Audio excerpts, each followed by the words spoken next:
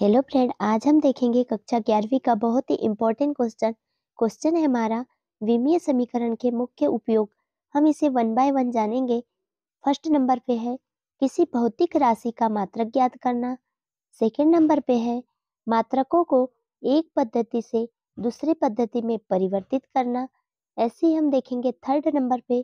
Third पे है, विमीय संतुलन द्वारा किसी समीकरण की सत्यता की जाँच करना।